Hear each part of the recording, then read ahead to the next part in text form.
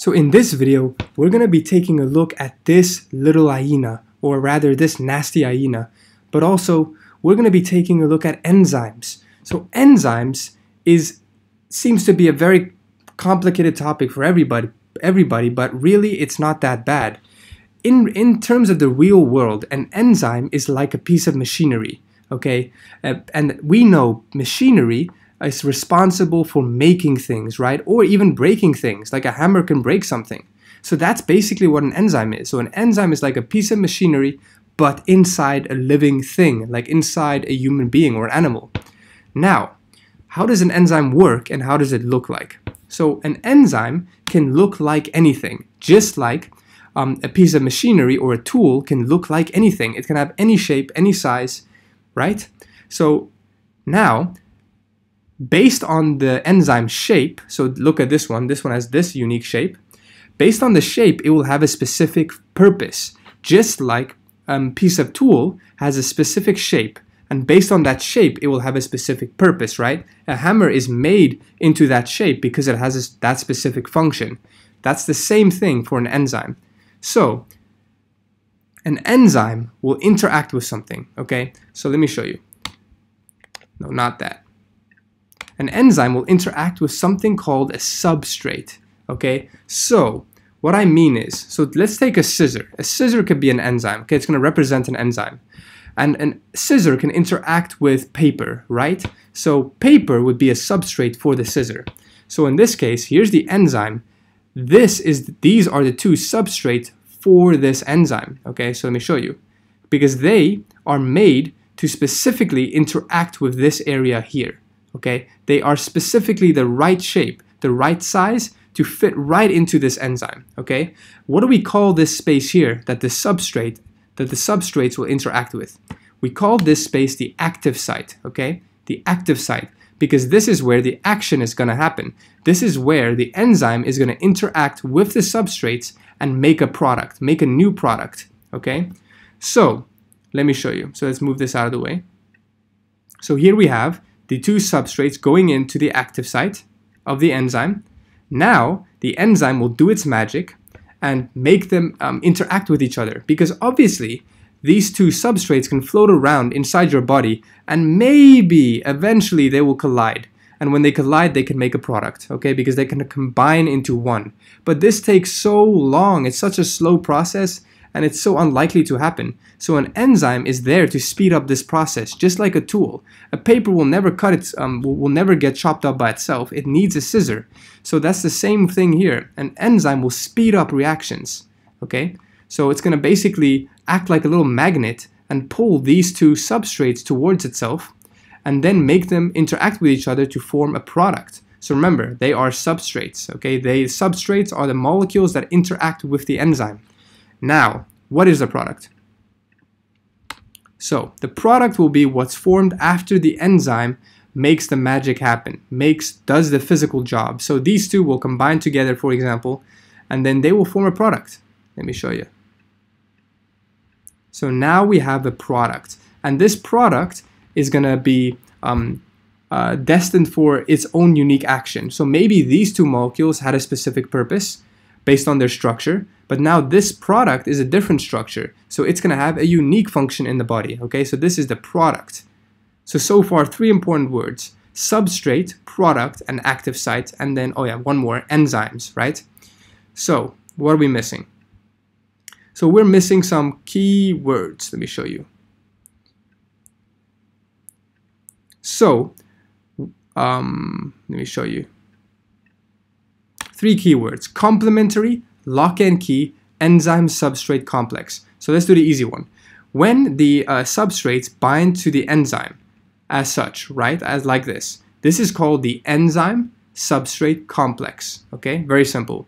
Lock and key, okay, remember how I said the enzyme is a specific shape, and this shape is specifically made to interact with only these substrates, right? It has a unique shape for a unique job. This is called lock and key. This enzyme is specifically made, this lock is specifically made for these keys. It fits exactly. That's the lock and key model. Okay, this is the lock and key model. Now, complementary. Okay, when two humans complement each other, it means they work well together, okay, or they are exactly right for each other. Now, that's the same thing here. This enzyme has a complementary structure to these substrates, meaning they work very well together because they're the exact opposite, meaning they fit really well together. So they are complementary. Okay, good. So do you get the gist so far? Now, not only can we can an enzyme take two substrates and make them combine together to form a product, okay, and not only can an enzyme build things like tools can, they can also break things. So for example, um, the substrate can also be this thing. So for example, maybe there's an enzyme and here comes the substrate. In this case, this is the substrate, but not the product because this substrate will now be broken down after interacting with the enzyme into the products. Okay, so now these are the products rather than the substrates. So that's interesting, right? So know, know that enzymes can both make things and break things. So when it breaks things, the, this will be the this will be the um, substrate but maybe when this is made it's the product okay? So it can vary it can depend on the situation. Okay now I said a lot of things but now I'm going to put in word form what an enzyme is just so that you you you are clear on it. So an enzyme is a biological catalyst. In simple terms it is uh, a substance that speeds up a reaction as I mentioned that may otherwise take forever to happen Okay, and what do I mean by catalyst and biological? Biological means it happens in living things. And as I said, we don't find these tools in our body, but these are the tools of our body. So they are biological. They, um, they are in existing things. And a catalyst is anything that speeds up a reaction.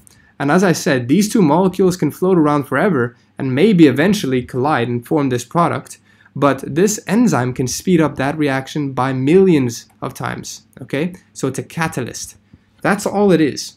Now, you need to know that enzymes are absolutely everywhere in your body. They, they regulate almost every single reaction. Without enzymes, you would not be able to exist because the reactions would happen so slowly in your body that nothing would actually be formed. It would take millions of years for things to happen. So, this brings us to the last bit. I mean to the next bit. What is enzymes made of? An enzyme is a protein. That's what you need to know. Let me show you how. So maybe you've learned this before, but basically proteins are made up of amino acids. So inside our body, we have a bunch of these little structures called amino acids. When we um, put them together, okay, when we when your body puts them together, they will form a long chain of these little balls, okay, and they are called polypeptides. I don't know if you've seen this. And interestingly enough, funny enough, you also need an enzyme to make this happen.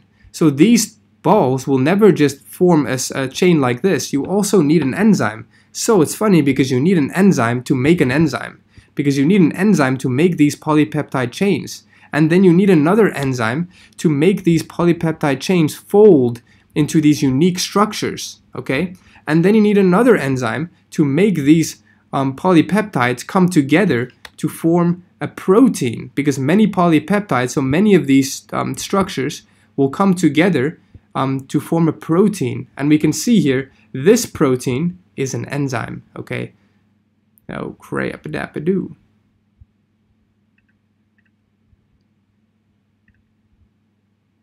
So we can see that this enzyme, I mean this protein that we just formed, is actually this enzyme, okay? So that's what you need to know. You need to know enzymes are made up of proteins, okay? And this is the sequence of events that makes a protein. And this sequence of events actually needs their own catalyst. Otherwise, this reaction would never happen. So that's that just shows how how important and how and how enzymes are actually everywhere. Okay.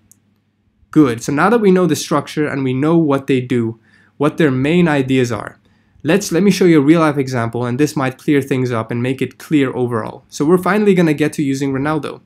So here we have Ronaldo, okay? He is very tired as you see. He's sitting on this field and he's just thinking about eggs. He's hungry, he wants to eat. So he decides to eat this egg because it has a lot of protein and it will make him really strong and ready, right? So he eats this protein. Um, I mean this egg and it goes into his stomach, okay? And into his stomach um, it's going to get broken down and stuff like that. But one of the important things that make up an egg is a protein. It's not only made up of proteins, it's also made up of fats, carbohydrates, and all these things. But one key component is a protein. So let me show you.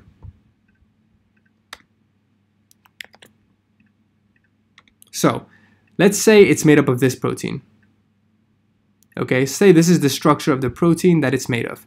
So this protein goes into your stomach, okay, because it's gonna get broken down now because this protein is too big to be able to be absorbed into your bloodstream. Okay, so let me show you here. So we know we have our bloodstream around here, okay? And your bloodstream is going to receive all the nutrients from your digestive system so that it can send it to the cells of your body, okay? So that, so that your cells can receive all the nutrients that they, that they could possibly need, okay? Now this protein is too big to be absorbed straight into the bloodstream, so it, it needs to be broken down a little bit first. So that's what we're going to do. We're going to break this thing down. How are we going to break it down? We need an enzyme. So this thing right here is a little cell in the wall of the stomach and it secretes an enzyme. Okay, and this enzyme's name, let me show you. Here's the enzyme. This enzyme is, is specifically made to break down this protein, okay? And it's called a protease, okay? You need to know that enzymes, um, enzyme names almost always end in ase. So this is a protease because it breaks down proteins. So as soon as you see a name and it has an ase at the end, you know it's an enzyme. Okay, you know that basically. So this cell secretes this um, this enzyme, and this enzyme is going to bind to this protein and going to break it apart into it into the products. Okay, into the products. So they fit with lock and key model. So now it's going to break it down. Okay. Um, oh yeah, and you need to bear in mind this. This is important. Um, remember, proteins are made up of amino acids, as I just mentioned, right? They're made up of these chains of amino acids, just like an enzyme. Okay, so they also have this. So they're kind of like a really long chain of chains put together. So this protease will break these chains apart, these proteins apart into smaller pieces, just like this. Okay, so here we have them. He broke them down into these small pieces. Okay, breakdown or degradation. And just like um, just like the previous one that's made up of proteins, this is also made up of proteins. It's just cut in half now. Okay, it's broken into smaller pieces. So this is what we have now. Now, these two pieces are small enough to be absorbed. because this one was too big to be absorbed into the bloodstream. Now, these are small enough. So these can be taken up into the bloodstream, okay? Okay, they're taken up into the bloodstream. And now the bloodstream, so we just saw one example of what an enzyme can do, right? The breaking down process. So now I'm going to show you how it can build things in a real life situation. So in a real life situation, we have enzymes that can break down the food we eat, okay? And we need these enzymes so that these food, this food that we eat is small enough to be absorbed.